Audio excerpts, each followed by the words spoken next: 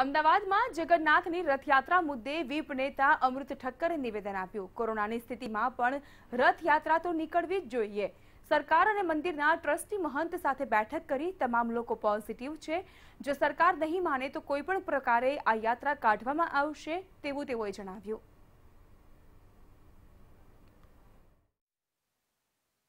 રથયાત્રા થશે કે કેમ તે અંગે હજી સરકારે સ્પષ્ટતા નથી કરી, પરંતુ વિશ્વ હિન્દુ પરિષદની જો વાત કરવામાં આવે, તો તેમના દ્વારા અનેક વખત સરકારને એકસો ચુમ્બાલીસમી જે રથયાત્રા છે કે જે હિન્દુ લોકોના કહી શકાય કે ધર્મ સાથે જોડાયેલી છે, તે ચોક્કસથી નીકળવી જોઈએ તેવું તેમનું માનવું છે. તો તેમની સાથે, આપણી સાથે અશોક રાવલ જોડાયા છે. તેમની સાથે વાત કરીશું.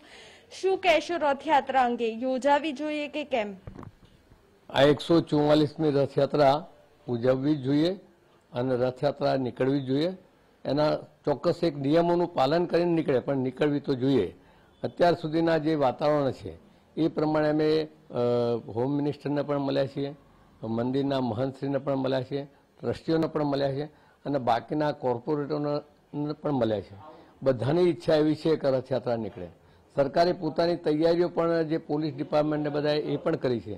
આ જોતા રથયાત્રા નીકળવામાં કોઈ વાંધો નથી. અને નીકળવી જ જોઈએ.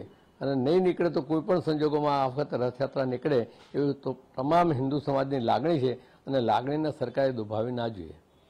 વિશ્વ હિન્દુ પરિષદ દ્વારા જો રથયાત્રા નહીં યોજાય તો આગળ શું કરવામાં આવશે? અત્યારના જે સંજોગો છે અને જે પરિસ્થિતિ છે અને જે વાતાવરણ છે અને જે સમાચાર મળે છે એ પ્રમાણે રથયાત્રા નહીં નીકળે એવો તો કોઈ પ્રશ્ન નથી. સરકારની પણ ઈચ્છા છે, મંદિરની પણ ઈચ્છા છે, સમાજની પણ ઈચ્છા છે અને બાકીના કોર્પોરેટરો જગતની પણ ઈચ્છા છે.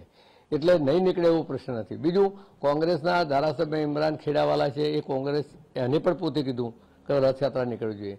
ડિબેટની અંદર કોંગ્રેસના એક કાર્યકર્તા હતા, એમને પણ કીધું કે રંગે ચંગે રથયાત્રા નીકળવી જોઈએ. તો આ જ્યારે બધાની જ ઈચ્છા છે, તો રથયાત્રા નીકળવી જોઈએ.